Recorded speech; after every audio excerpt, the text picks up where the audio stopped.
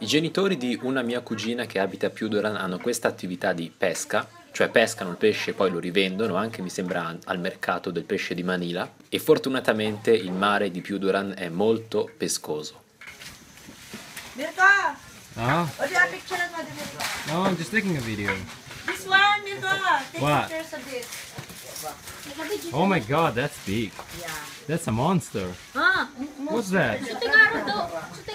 Man kagabi nga nagmonster.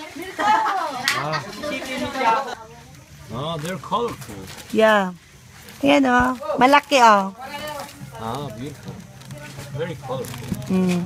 Oh, Too big. oh my god, that's their mother. It's one of the ano, expensive fish here. Expensive.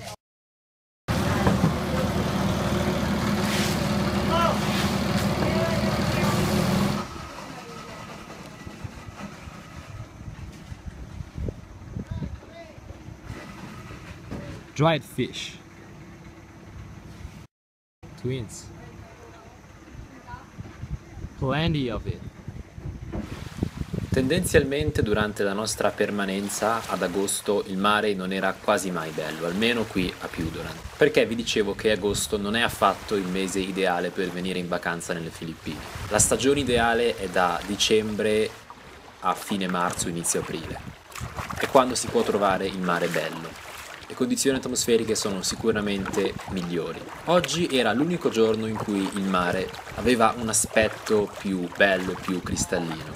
Questo ovviamente non è un luogo turistico, anzi persino tanti filippini che vivono in questa regione non conoscono questo posto perché è davvero un piccolo villaggio, però in generale le Filippine sono conosciute per la bellezza dei luoghi naturali e in particolare dei luoghi marittimi. Ci sono tantissime spiagge molto belle sparse in tutte le Filippine, però le località più famose sono sicuramente Boracay e Palawan. E pensate che quest'ultima, in particolare la zona di El Nido, è stata proclamata l'isola più bella del mondo. Cercate su Google se non ci credete.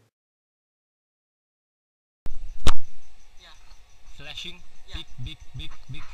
Are you sure? Yeah.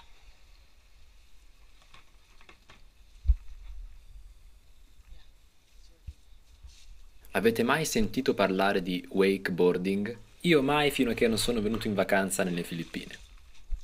Here's the camera flashing. Can you see it?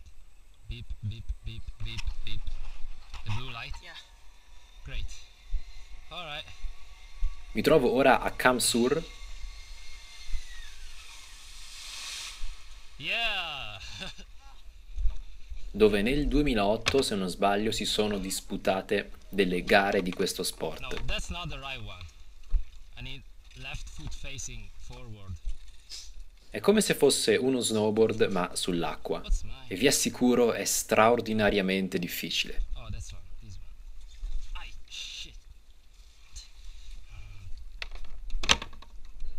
Dovete infilare i piedi nei supporti, afferrare la presa e lasciarvi spingere dal meccanismo.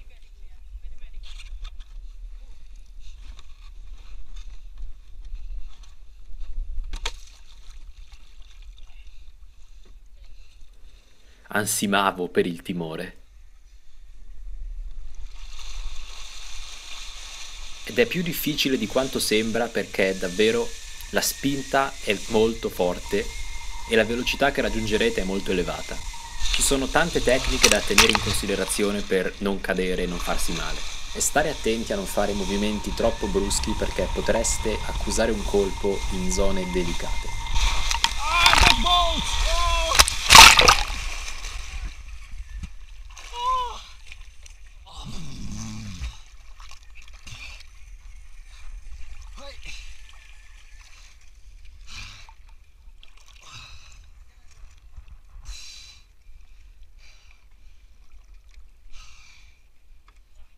Bene, anche questo episodio volge al termine, per il prossimo episodio sarò sempre qui, ma non si tratterà più di wakeboarding, ma di provare un divertentissimo parco giochi gonfiabile e galleggiante.